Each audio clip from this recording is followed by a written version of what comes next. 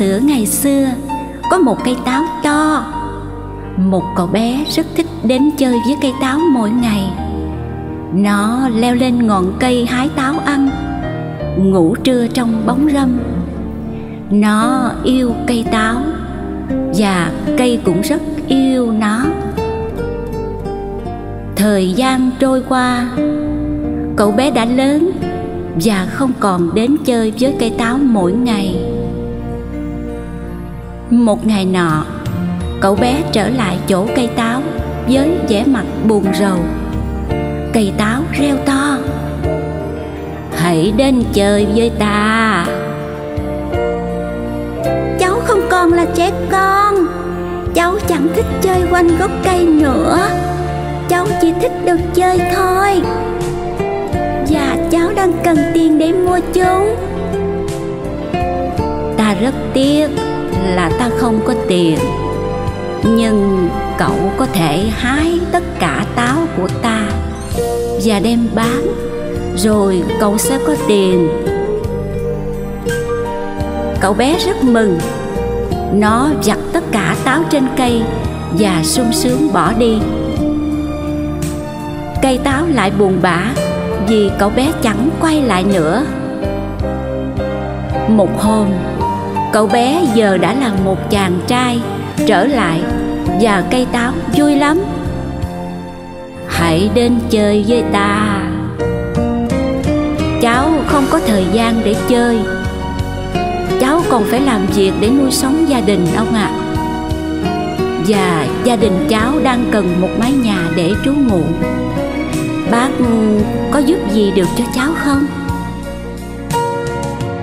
Ta xin lỗi ta không có nhà. Nhưng cậu có thể chặt cành của ta để dựng nhà. Và chàng trai chặt hết cành cây. Cây táo mừng lắm. Nhưng chàng trai chẳng quay lại. Cây táo lại cảm thấy cô đơn và buồn bã.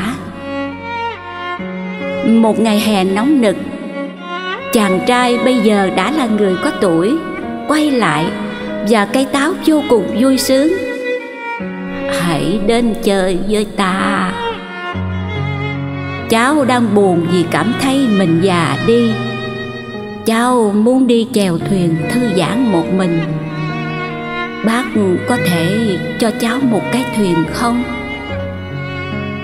Hãy dùng thân cây của ta để đóng thuyền, rồi cậu chèo ra xa thật xa và sẽ thấy thanh thản. Chàng trai chặt hết thân cây làm thuyền. Cậu chèo thuyền đi.